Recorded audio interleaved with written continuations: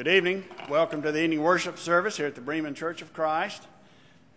Welcome all of our visitors and members alike. I invite you to grab a book or watch the screen above me and join in our song service this evening. It's my privilege to lead tonight. And our first song is number 38. 38.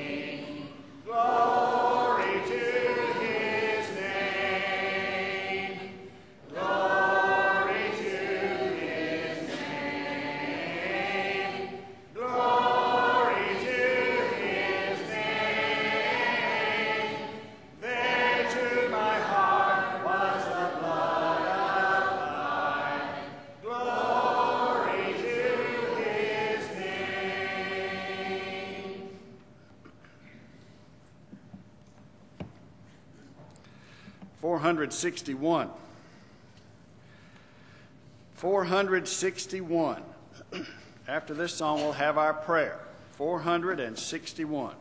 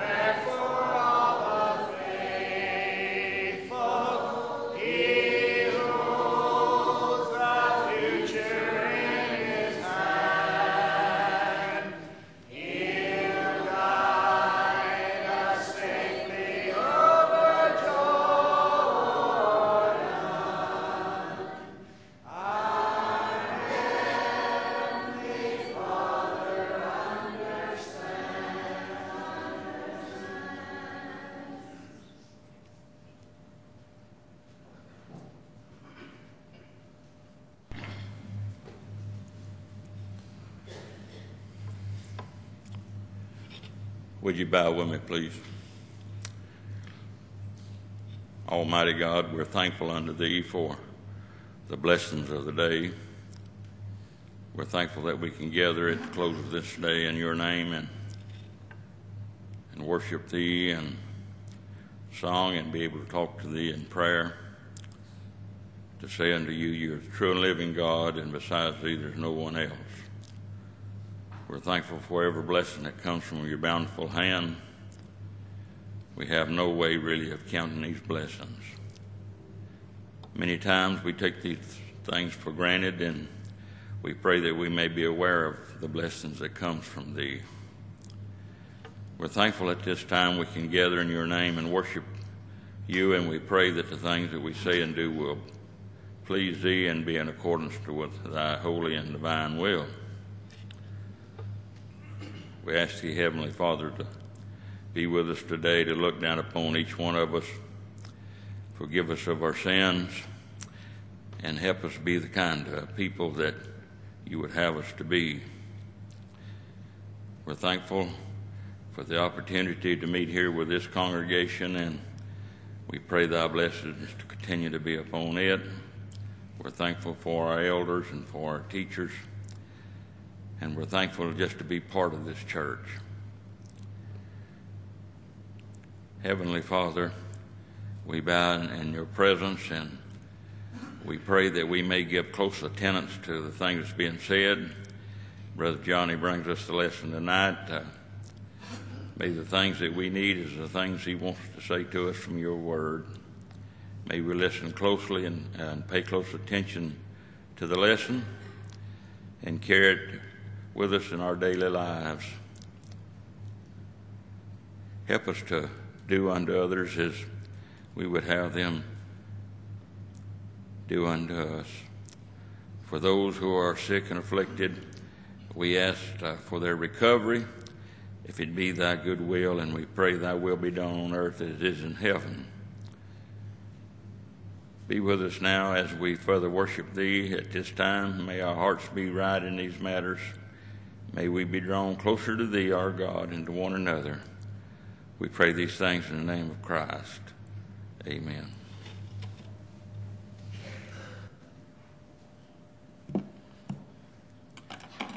Ask you to mark in your book number 88.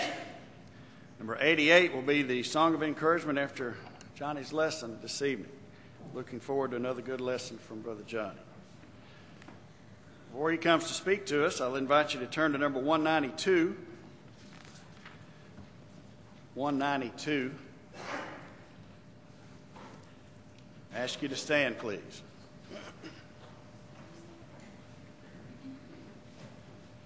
There's a call come ringing o'er the restless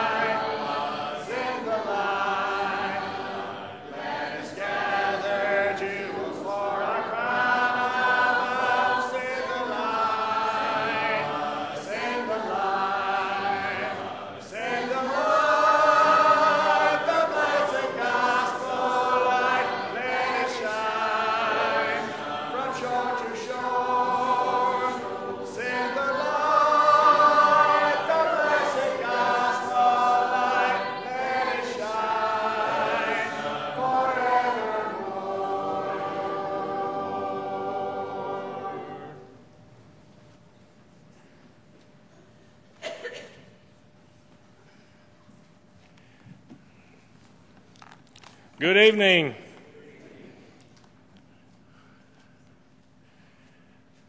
My pleasure again to be with you this evening, and I am uh, hopeful, uh, as Chris said, to that we can have a good lesson this evening. He said uh, we're looking forward to another good lesson. Uh, take that as a compliment. And Melanie leaned over to me and she said, "That's sweet." He said that, and then she leaned over and said, "Don't disappoint us." It's a true story. So I'll try not to. Um, as you see, this evening we're going to talk about qualifying for life's race. The key text being uh, Hebrews 12, verse 1, and another key text being 1 Corinthians 9, 24 to 27.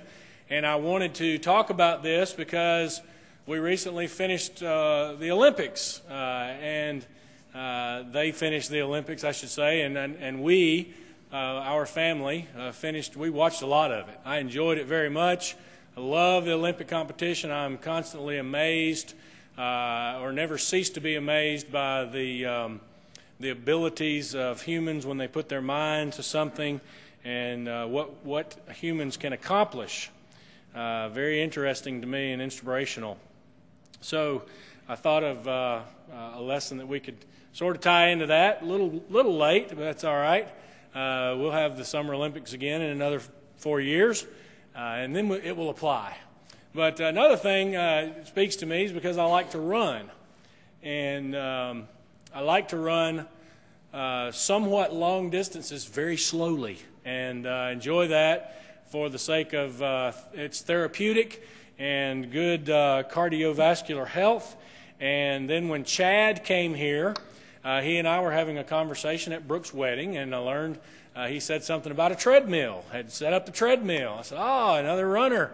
So uh, I uh, started talking to him about running, and then when the boys, Seth and Connor and Joshua, I hope that's the right name, uh, okay, started football this year, I said uh, to Chad that we can run during football practice, which is what I do because it's two hours long. Why not get some exercise?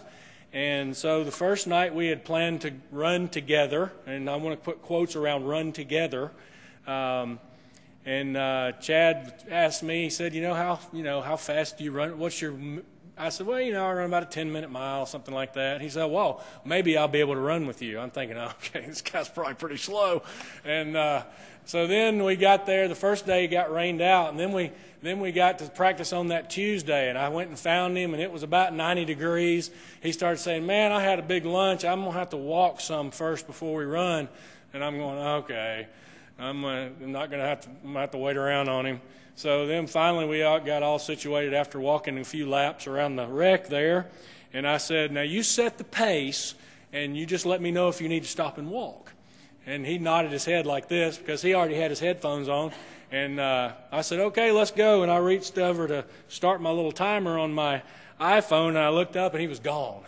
And uh, I never caught up with him again. And um, he runs a little faster than I do, and that's okay. Uh, but uh, have enjoyed that and enjoy the uh, illustration that Paul uses in the Bible about running a race he uses illustrations about athletic competition, and that's something that speaks to me and speaks to many of us because we enjoy a good contest. We understand uh, mano y mano and the, uh, the, the, the, the, thrill of human competition, athletic competition. You remember the old uh, Wide World of Sports uh, introduction so many years ago they used to play the, uh, the, the thrill of victory and the agony of defeat. We, we identify with those things. So, this evening, I want to spend a little bit of time talking about qualifying for life's race and thinking about uh, the application that Paul gives to us and how this compares to the life of a Christian. And the book of Hebrews, who I won't say is written by Paul, although I think he probably was the writer, says, Therefore, we also, since we are surrounded by so great a cloud of witnesses, let us lay aside every weight and the sin which so easily ensnares us and let us run with endurance the race that is set before us. We have this, this great verse in Hebrews 12 where the writer talks about in, in living your Christian life, remember that there's this great cloud of witnesses, these people who came before us. And the word therefore is there for something. And, it refers back to Hebrews 11. We've talked about this before and all of that great group of people that we can look to for inspiration as we live our Christian lives and try to run this race. So it's, it's, it's about running, about staying in the race. And if you read on in, in uh, Hebrews 12, it says, um, looking unto Jesus as the author and finisher of our faith, who for the glory that was set before him endured the cross, despising the shame, and is set down at the right hand of the throne of God. And we know, we know that verse, and that's such a great story that Jesus himself endured great uh, tribulation and physical uh, uh, uh, torture to, to accomplish his mission. And we should be inspired by that to accomplish uh, the walk that, and, or the race that God has uh, set before us. But all of those folks back in Hebrews 11 become very important too. And then again, the other key text I mentioned, 1 Corinthians 9. I don't have this up on the screen uh, verses 24 to 27, Paul says, do you, know, do you not know that those who run in a race all run? He says, everybody runs, but one receives the prize. Now, this is referring back to the early, um, what we would refer to as uh, maybe the, the initial Olympic competition in, in Greece and in some of the, the cities around that, uh, that place in that day and time. And they had these competitions. And when they had a race, they had one winner. There wasn't a gold, silver, and bronze. Um, they had one winner, and he received uh, a wreath or a crown. And Paul says, Run in such a way um, that you may obtain it, that prize. And everyone who competes for the prize is temperate in all things. So he says, Everyone who runs uh, has to maintain a certain amount of self control to be in the proper condition to compete.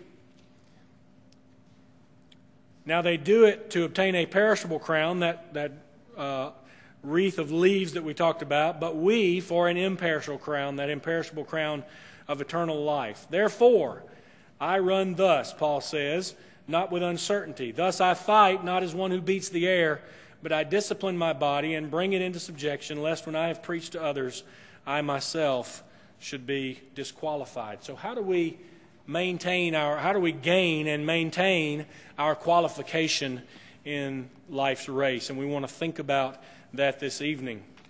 And uh, of course, as we do, we go back to Hebrews uh, 11 or 12, 1, that great cloud of witnesses. And we, we see that Abel is one of those witnesses. Abel in Hebrews 11:4 says, "By faith Abel offered God more uh, excellent sacrifice than Cain, through which he obtained witness that he was righteous." So Abel is a, a witness or, or an inspiration for us of uh, how to run properly. He, he did what God told him to do. We can, through the various scriptures in the Bible, reading the story in, in the book of Genesis, and then this, uh, know that Abel, by faith, by knowledge of God, uh, was able to do the right kind of thing that God wanted him to do. He offered the right kind of sacrifice. And then we have Enoch, who bears witness to us uh, that, that God has this power to grant to us eternal life. And what a, what a wonderful story. Uh, Enoch, by faith, Enoch was taken away so that he did not see earth and was not found because God had taken him for whatever reason, uh, Enoch walked with God, and God just took him up. Enoch didn't die an earthly death. God just took him up and gave him, put him right there into eternal life. Noah bears witness that even when God's vengeance is called for, God will provide a way of salvation. We know, of course, the story of Noah. Perhaps the uh, numerically speaking, uh, we would say didn't save a lot of souls. But Noah was a great success. He, he saved seven, and they were his family, and he was able to do that. And, and not only that, he preserved mankind because he was willing to do what God said. We've seen good old Noah built an ark. And I always ask the pew packers, how did Noah build that ark? Well, he built it the way God told him to build it and in his obedience to God, uh, he saved our race. So Noah is a great um, example and witness for us to draw strength from. And then Abraham bears witness that things will work out if we trust God and follow Him. Abraham, who God told him to leave his father and leave his home and go to a place I'll show you, how much courage would it take to do that? Especially in that day and time, it wasn't like uh, you could stop at the rest stop. You know, you're going out into the wilderness and, and not knowing where you're headed and what's out there to meet you. Yet Abraham was willing to do that. And then Sarah, who went with him, bears witness that God keeps his promises. God keeps his promises. You think Sarah did a little bit of a double take when God told her that she was going to have a child? God keeps his promises. And all of these people, this great cloud of witnesses, are, are there for us. And it goes on and on. If we read through chapter 11, and if we read through the whole Bible, we can even pick out more uh, that their God is our God. And that's inspirational. They were humans, just like we are, regular people who had a relationship with their God, and we are regular people who can have a relationship with our God, the God of yesterday, the God of today, and the God of tomorrow. So these should give us inspiration. But how about looking at qualifying for life's race? You know, one thing to think about when we want to stay qualified and uh, gain and maintain that qualification is that we are running in view of the king. Did you know a little bit of trivia here? Uh, of course, the, the, it's not the longest distance race run anymore, but probably the most uh, well known. The marathon distance, 26.2 miles, uh, was originally a distance of 24.8 miles. In 1896, uh, the Olymp- Olympic marathon, 24.8 miles, was based on the distance run according to a famous Greek legend you may have heard of, uh, of Phidippides, a foot soldier who was sent from the plains of Marathon, where there was a battle raging, to Athens with the news of an astounding victory over the Persian army, the superior Persian army. Exhausted as he approached the leaders of the city of Athens, he staggered and gasped, Rejoice, we conquer, and then collapsed. The marathon distance was later changed as a result of the 1908 Olympic Games in London. That year, King uh, Edward VII and Queen Alexandria wanted the marathon race to begin at Windsor Castle outside the city so that the royal family could view the start. The distance between the castle and the Olympic Stadium proved uh, to be the difference in the distance between the, the castle Olympic Stadium proved to be 26 miles, Organizers added the extra yards to the finish around the track, 385 to be exact, 385 yards, so that the runners would finish in front of the King and Queen's royal box. Every Olympic marathon since the 1908 Games has been a distance of 26 miles, 385 yards, or 26.2 miles, because they thought it was important for the runners to start in front of the castle and finish in front of the king. But we, run in view of the King of Kings. And in realizing that, we need to ask ourselves two questions when we're thinking about gaining or maintaining our qualification. Number one, is the race important? Is the race important? Is this Christian race, is being in the Christian race an important thing to begin with? And then, secondly, if it is, am I willing to qualify for that? Am I willing to do what Hebrews 12 tells me that I must do. And we haven't really visited this yet, but what does it say? It says, lay aside every weight and the sin which so easily ensnares us, and let us run with endurance the race that is set before us.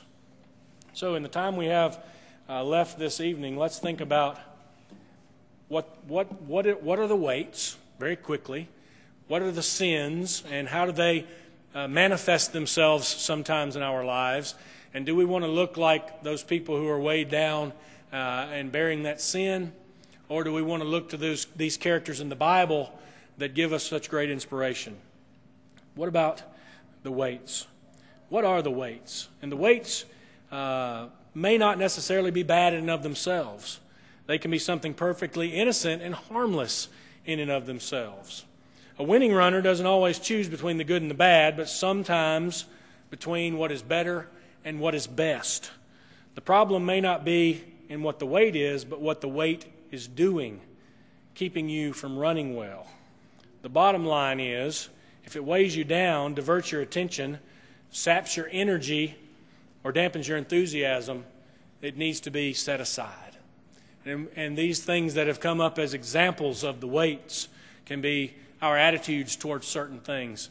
Uh, while they may be justified, um, maybe in the eyes of men, are they justified in the eyes of God? Are they attitudes that we can espouse and still be a Christian serving God?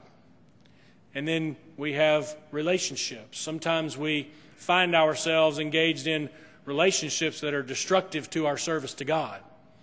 And of course, we always caution our young people evil companionships corrupt, uh, corrupt good morals. Uh, we all need to take that to heart and understand that we should try to surround ourselves with people who are going to help us run the race, uh, help us finish the race. It reminds me of uh, a time that I remember about how, how much encouragement uh, meant to me when I was running a race. I was several years ago, I was running the, the Atlanta Half Marathon, which happens every year on Thanksgiving morning, and I had a goal. I had a goal in mind that I wanted to get to the finish line under a certain time, and uh, about nine miles in, I was struggling. I was fading fast. And I decided, uh, looking at my watch and doing the math, I said, I just, I'm not going to make it. I'm just trying to finish. And then all of a sudden, this, this group of people kind of surrounded me. And I noticed one of them was holding a flag. And the flag had the time on it that was my goal time. And this person was specifically there to help people who wanted to run with her get there in that time. And I said to myself, you know what? If I stay with this group and I draw on their strength, then I can make it. So I, I sped up a little bit to try and keep up with them, and I started kept looking at my watch, and I said, "It's not adding up. I'm not going to make it to the finish line." Um, and then I had figured out that I had started about two minutes in front of them, so uh, I wasn't going to make it. So I, I decided, I, you know, I'm going to have to leave them behind and go on. But for a time there, uh, running with that group gave me the strength and the encouragement to, to carry on.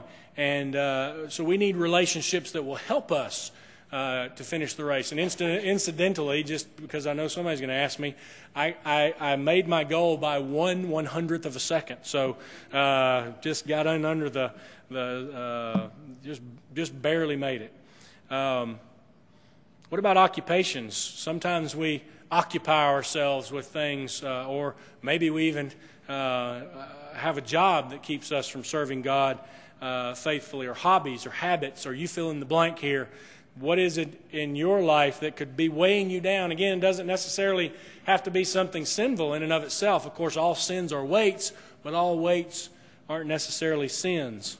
So we need to lay aside the weight and uh, let it help us uh, so that we can finish the race uh, more effectively. But what about those sins? The, there are some who are unwilling or unable even to enter the arena to begin to run the race because of these uh, sinful things these uh, that are that are at work in their lives. Um, 1 Corinthians 6 verses 9 and 10 says, "Do you not know that the unrighteous will not inherit the kingdom of God? Do not be deceived." And here we have a list: neither fornicators nor idolaters nor adulterers, nor adulterers, nor homosexuals, nor sodomites, nor thieves, nor covetous, nor drunkards, nor revilers, nor extortioners will inherit the kingdom of God. So again, this is a list offered up to us by Paul here. It is by no means exhaustive of those who are disqualified from finishing the race. Uh, but we do see here that uh, the unrighteous are some that w- would disqualify themselves from the competition or from, from running this race. Uh, and I want to step aside here just for a second and, and, and bring this out because it, it, it kind of jumped out to me when we were talking about this. Two points, really. Um, there are a lot of things in here, and we don't want to be named any of them. Um, and of course, among them are some terms that have to do with homosexuality.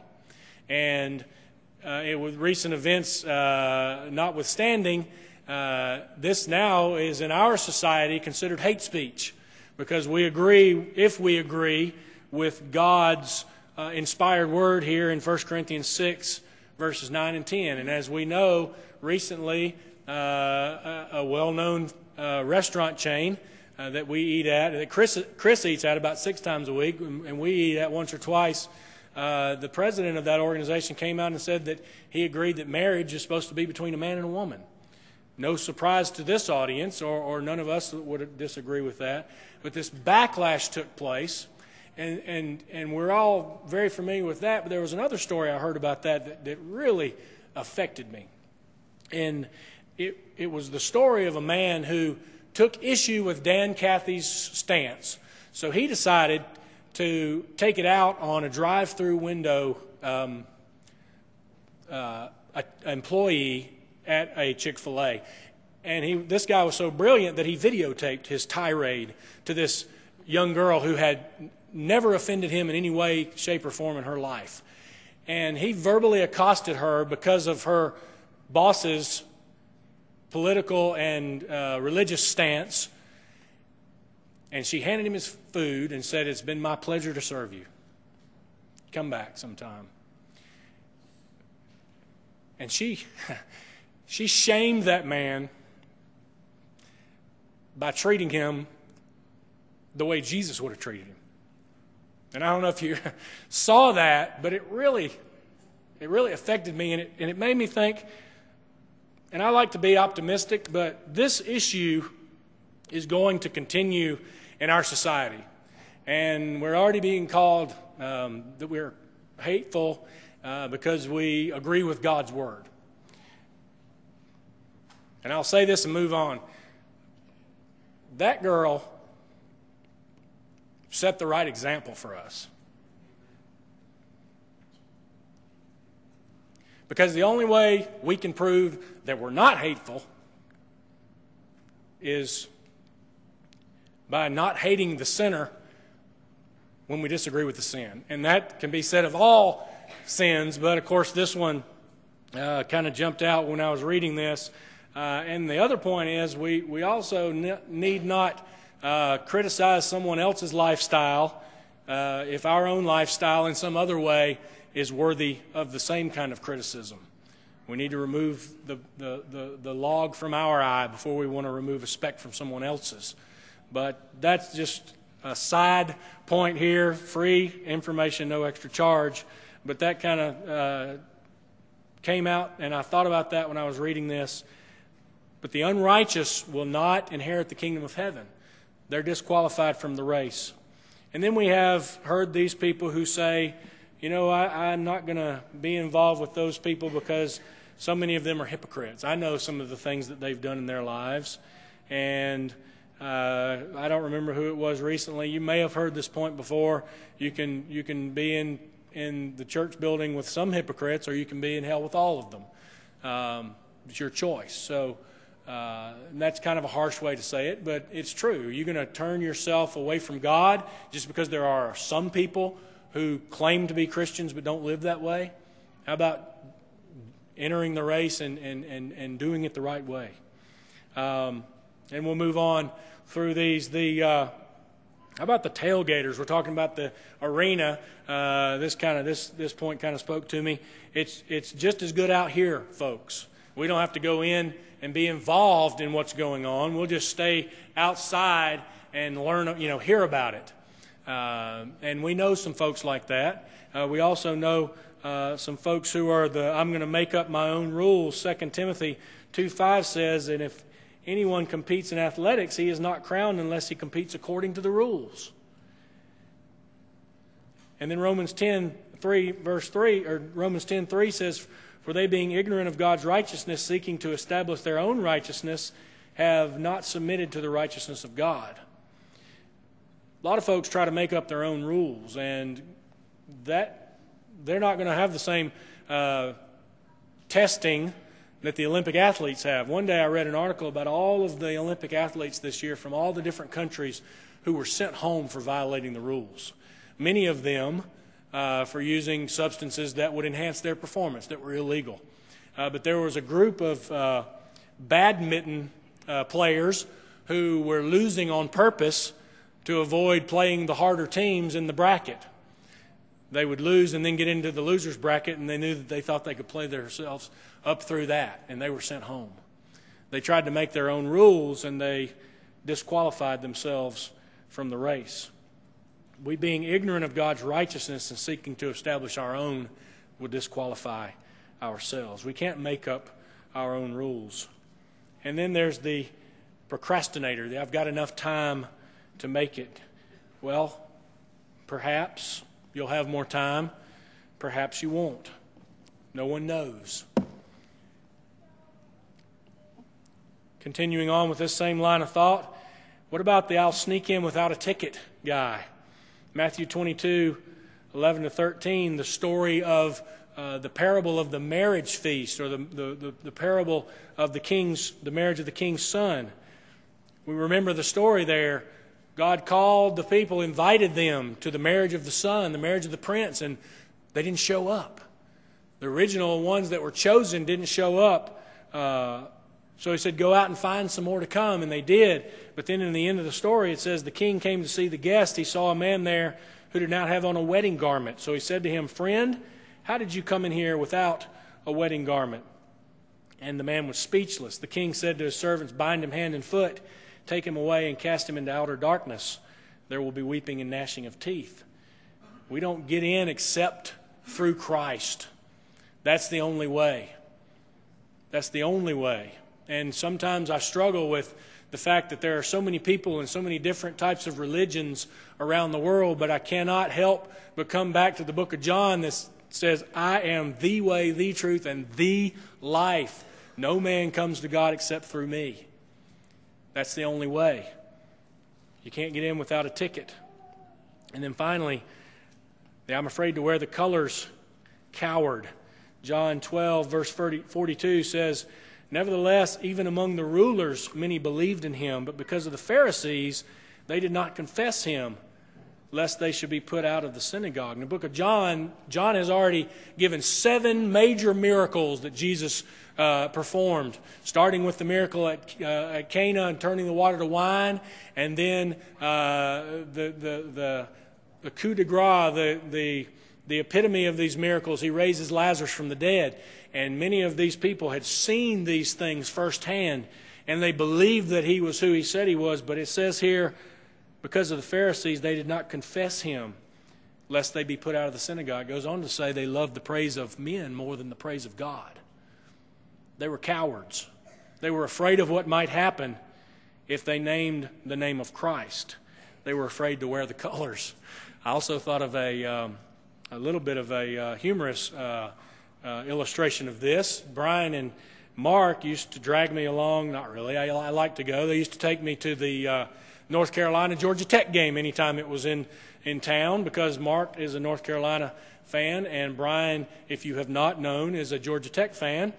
And uh, so one morning I got up and put on my favorite shirt of that particular year, which Melanie would call my uniform. See, sometimes we guys get comfortable with a pair of shirt, a shirt or a pair of pants, and we wear it often. And you think it's because we're lazy and don't want to pick something out, but it's actually because we want to make the laundry simple for you.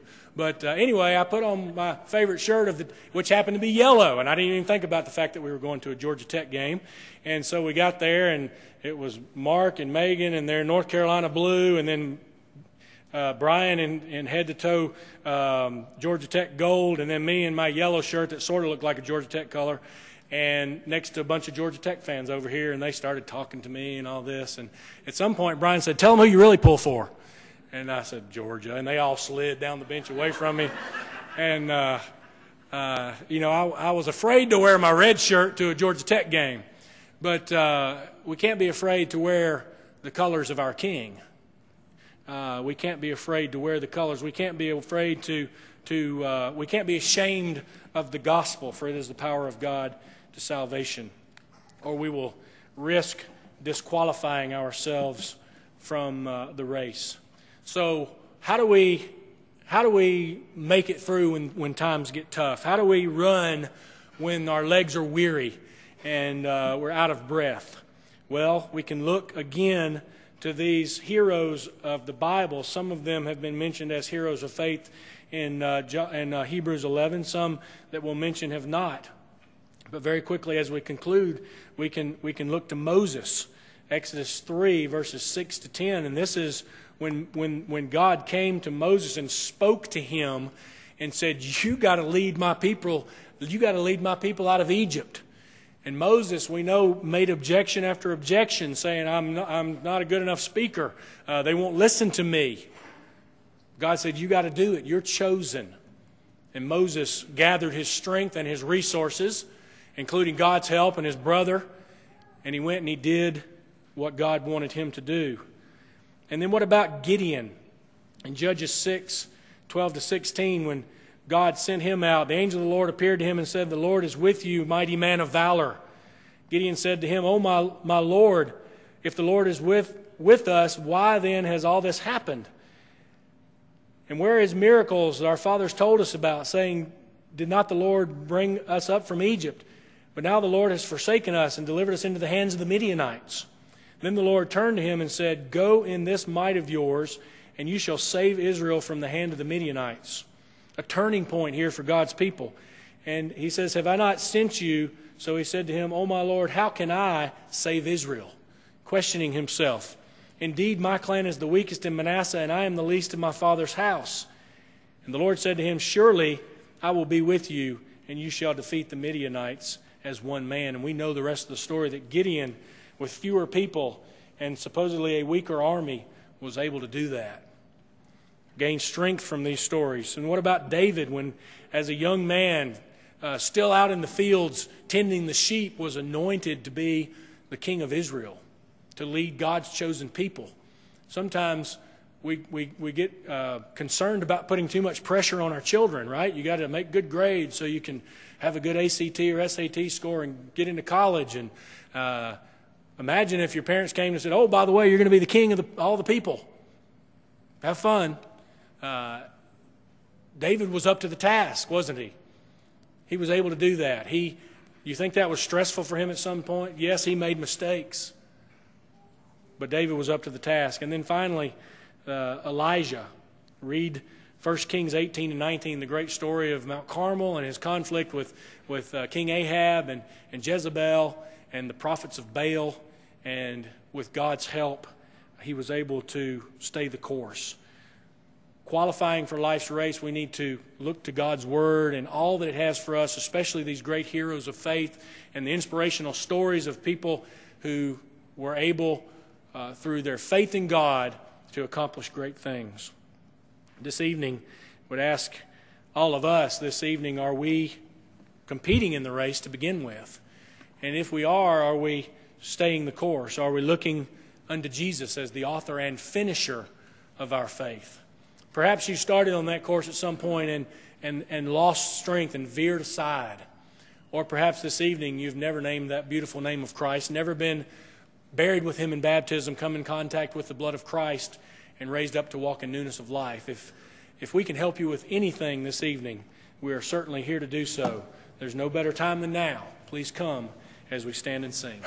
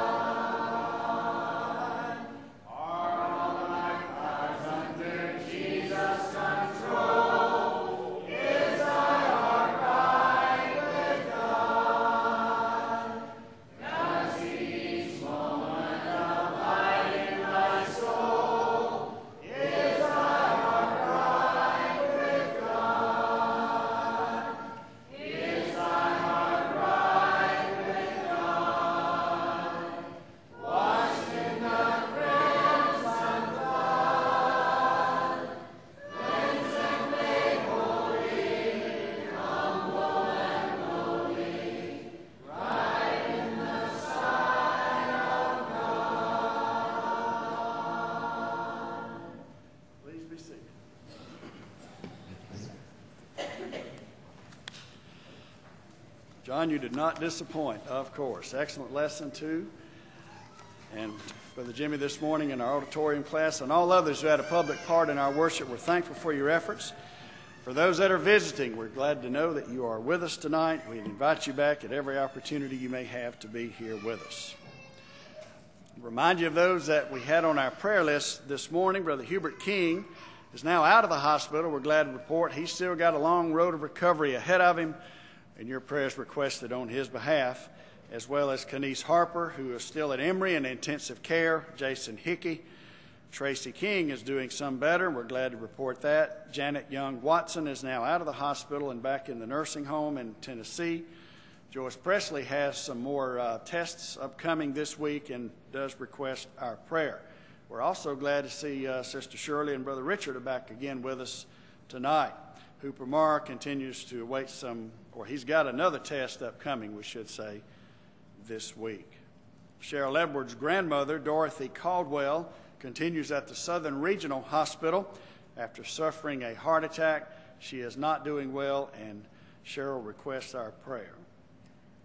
And as we mentioned this morning, Brother Noel Butler, former member here, former elder at the Villa Rica congregation, is at uh, the Kennestone Hospital in Cobb County in intensive care. Are there any others that we should mention? Brothers Keepers Group 1 meets this coming Saturday at Jacob and Julia's home. 5 o'clock sign up list in the foyer. Fellowship meal after the evening service next Sunday evening for Stephen Higley. The area wide singing West Georgia is Friday week, August the 31st, 7 p.m. The food truck from the children's home is scheduled to be here September the 10th. There are uh, paper bags with a listing of what they have need of in the foyer. If you wish to participate in that, grab one of those bags and return it back to the collection box out front. A word about our gospel meeting. It is almost upon us. Three weeks. It'll be here August or September the 9th through the 13th. That's Sunday through Thursday. Um, there are flyers in the uh, foyer on the table if you wish to grab a few of those we have set a goal Sunday of our Friends and Family Day, that Sunday, of 300 folks. That should be uh, a challenge to us, but we can accomplish that. We've done it before.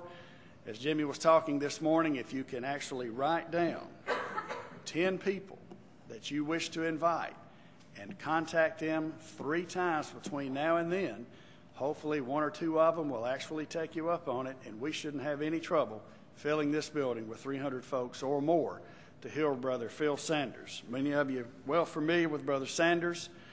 He does uh, In Search of the Lord's Way on Channel 57 in Atlanta every Sunday morning at 7:30 at local Atlanta TV. He is an excellent speaker and even better in person. If you've not had the opportunity to hear him, you've really got a treat in store.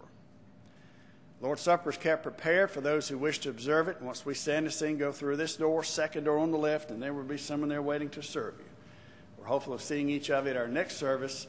Brother Larry Acuff will be here and present uh, a lesson in our continuing summer series this coming Wednesday night at 7 p.m.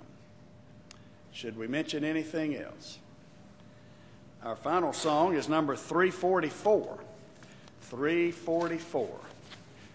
I guess I better turn to that and be ready, shouldn't